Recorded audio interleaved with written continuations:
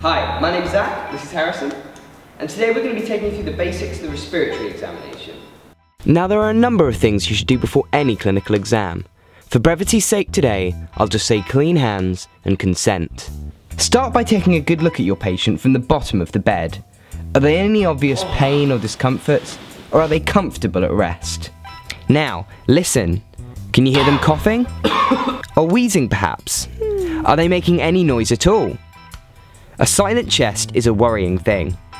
This is a good time to measure the respiratory rate, an often overlooked but vital observation.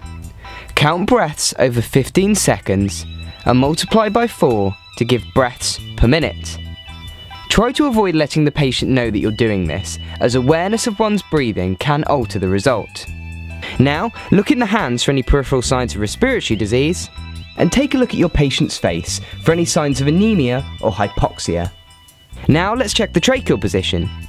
Warn the patient of imminent discomfort. Then feel the trachea by placing your index and ring fingers over the clavicle and palpating the windpipe with your middle finger. Is that trachea in the midline? Or is it deviated to one side? Check for lateral displacement of the apex beat for a better idea of whether the respiratory tract has shifted due to thoracic pathology. Now, we make it onto the chest itself. Start by having a good look. Notice anything unusual? Pay close attention to scars and deformities. Now, when examining the lungs themselves, the first important thing to assess is chest expansion. Are both sides rising and falling symmetrically? Or is one side outperforming the other? Make a note of any asymmetry. We can clarify this with a touch of palpation. Place your hands over the patient's chest, like so, so your thumbs are touching. As the patient breathes in and out, watch your thumbs as they move apart. Are both sides still the same, or is there a difference? We now move on to assess what's going on inside the chest. There are three ways to do this, and the first one is percussion. Start by tapping on the clavicles to get a good idea as to what's going on in the apices. Then continue down the chest, tapping in the intercostal spaces. The lungs should give a healthy resonant percussion note. A dull note suggests an underlying solid mass, while a hyperresonant note may indicate a pneumothorax. Comparing one side to the other is the best way to identify anything abnormal. The second technique at our disposal is tactile vocal fremitus. Now this is often performed incorrectly. The phrase 99 was incorrectly ported from the German neunundneunzig chosen for its delightful low-pitched diphthongs.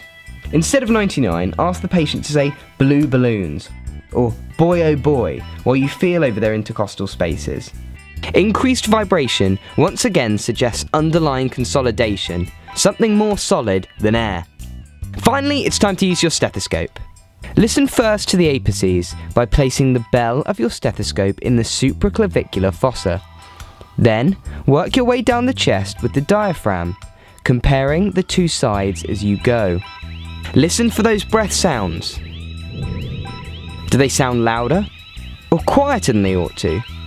Increased breath sounds, once again, suggest consolidation. Do you hear anything else?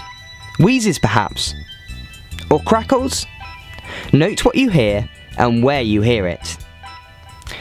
Finish by sitting the patient forward and repeating those four steps over the back, paying special attention to those always tricky lung bases. Now you're not finished yet. No respiratory exam is complete without a cardiovascular exam, an abdominal exam, and a full history, not to mention a peak flow. Yeah, and a sputum sample wouldn't go amiss either. But this is a good place to start and should give you a good idea as to what's going on on the other side of that chest wall. Finish by thanking the patient and getting them covered back up.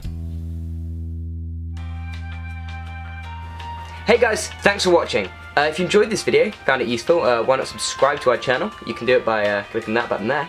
You can see some of the other videos in our series on clinical examination, uh, just below me, just down there. And uh, why not send us some helpful feedback? Till next time.